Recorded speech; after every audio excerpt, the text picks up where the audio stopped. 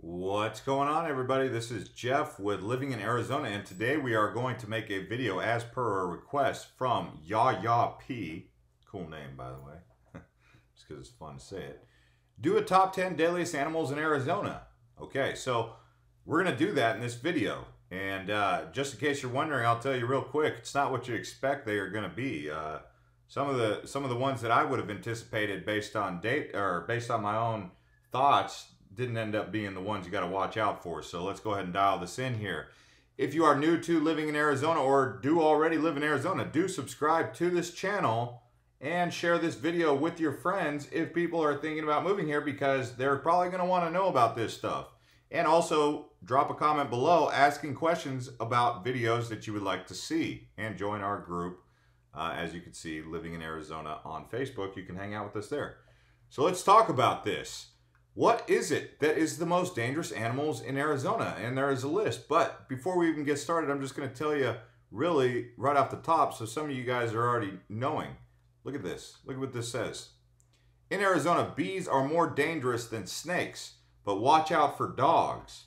Okay, so some of you would have thought, well, man, a rattlesnake. By the way, I, that's the one I would have picked as the most dangerous. But as it turns out, more people are attacked by dogs, like neighborly dogs, than any other thing in Arizona. That's like the the most crazy thing. Of those, 478 people were killed by bees. Okay, so here's what it is. The study counted 1610 human deaths relating to animal encounters between 2008 and 2015. So this is uh, coming from animals in the United States, right? We can even look at that uh, database right there. But the most fatal animal encounter with 576 deaths involved other mammals, including cats, horses, cows, other hoof stock, pigs, raccoons, and mammals. Could you imagine getting killed by a pig? Whoa. The study said most of these other mammals' death occur on farms, likely as a result of encounters with horses and cattle. Bees, wasps, and hornets cause the most harm among wild animals. So this is on ArizonaCentral.com, right? And a total of 48 people, about six per year, died each year from 2008 to 2015 from snake bites, according to the study. While while we're talking about stings and bites, here's what you need to know about dogs, bees, and wasps in, and snakes in Arizona. Dogs send more people to the ER. According to a 2000 report by the Arizona Department of Health Services, dogs were responsible for 34,000 emergency visits, inpatient hospitalizations. So more than 70% of those were dog bites. And if you have children, you know, your neighborhood dog could be the most dangerous, the, the neighborhood, your neighbor's dog could be the, your biggest threat and you didn't even know it. So, you know, sad, but that's what they're telling you based on the data. Okay. So you can see here's that report here, which you can catch up on sciencedirect.com. So some other things that you may want to know that just kind of happened out of nowhere. You know, a bobcat attacks two people and dog near Phoenix. This happened in Anthem, Arizona. So, you know, this happened back in 2017. So you could be out and about and have an encounter with a wild animal, but it's secondary to dogs. And they're also saying bees, right? So let's go ahead and talk about some of the wild animals that, you know, people don't typically come across if unless they're, you know, if they're living in the city, you're not going to come across these so much. But these are venomous animals that do live in Arizona. Arizona bark scorpion. Okay. Rattlesnake. Now that's the one that you got to really pay attention to because when you're looking into bushes and whatnot, or even just out hiking, you'll see them sprawled out and uh, sometimes they match the ground. Look at them. I mean, that that's the color of the desert floor. The, and they don't always rattle their, the rattler, but that's how you know a difference between, say, a king snake and a rattlesnake is the rattler has those little rattlers on the back. Okay, Arizona coral snake. So those are the two most dangerous snakes. The king snake, the bull snake, those snakes, the gopher snake, don't worry about those. Those are not dangerous. Okay, the California king.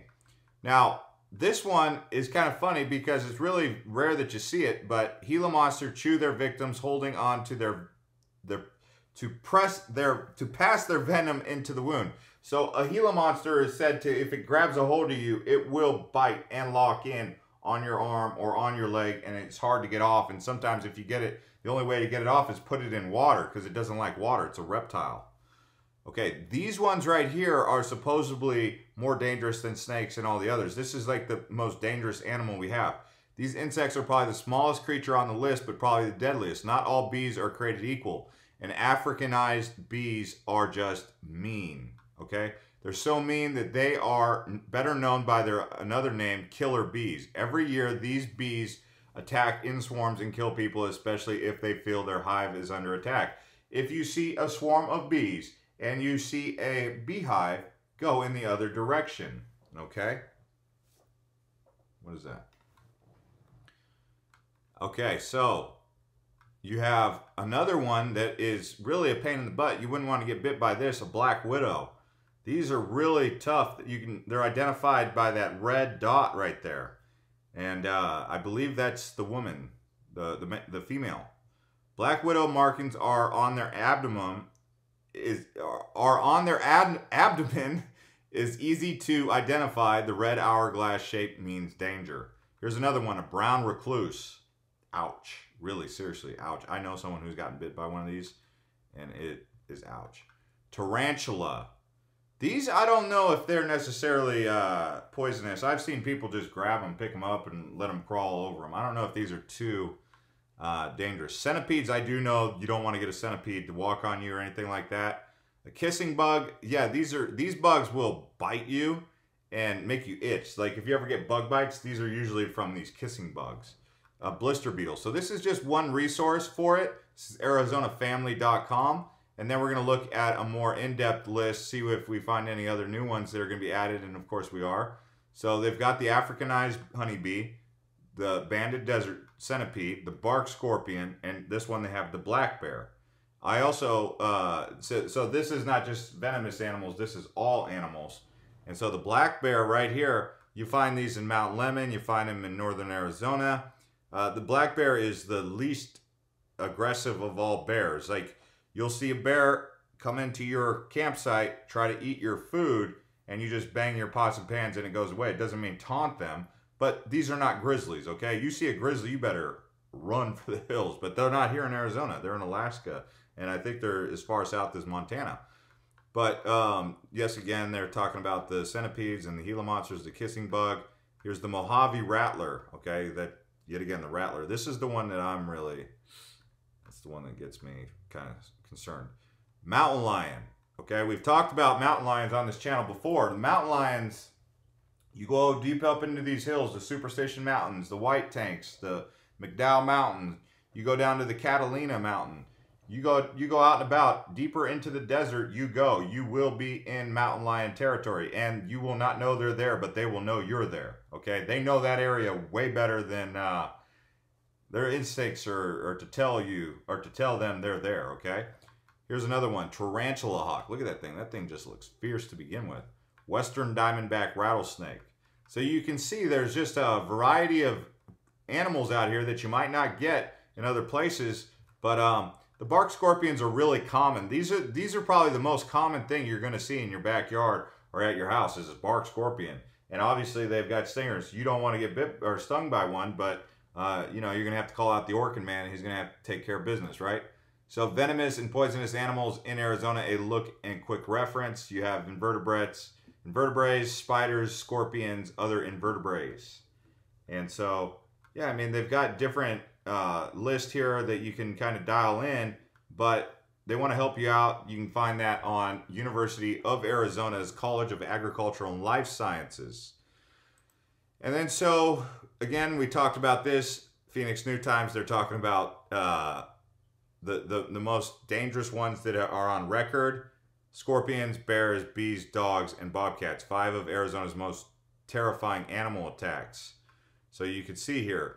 Here was one. A bobcat wandered into a bar in Cottonwood and attacked two people. So that's just, these are real world examples of things that did happen. A man from Louisiana went for a hike and ended up getting killed by a swarm of bees. Tragically, he was only 23 years old. It's hard to imagine a worse way to go out. Guy was stung by a scorpion while waiting to go through security at Sky Harbor Airport. Serious question. How does the state still have a tourism industry. Like, why does anyone come here? Okay, right.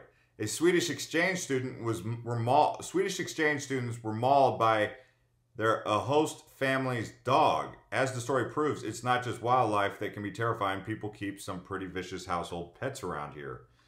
A Gilbert woman was attacked by a bear while walking her dog. Sadly, she died of a brain hemorrhage. Let's go ahead and take a look at this story because where did this happen? So this happened in Pinetop, not in Gilbert, but it happened in 2011. Last okay, so Laura Hollingsworth was mauled by a bear on June 28th as she took her dog on a late night walk in the Sports Village area of Pinetop Country. So that's up in the White Mountains, that's northern Arizona. So that's an example of some cases that have happened around here with five different uh, stories. You can find that on Phoenix New Times. And then you have this list here, which we already went over. We went over the one about the bobcats, and you have rattlesnakes, which I would say things to know about rattlesnakes. Like I said, uh, they hide under things. That a lot of things, you don't want to have this buildup of uh, debris in the corner of your yard, or you don't want to have like overgrowth of brush and area. That's why it's good to prune things because that's where some critters can live and some snakes. And uh, like I said, when the further out you go out into the uh, the desert, the the likely you the more likely you are to see these things. So, anyways, guys, just wanted to make this video as per request. I've already made similar videos like this, but I figured I'd make it again because we have new subscribers. Thanks to everyone who's been watching and liking these videos, asking questions below, and joining us in our group on Living in Arizona on Facebook, link below. And we will see you next time. Don't forget to subscribe if you're new here subscribe to this channel.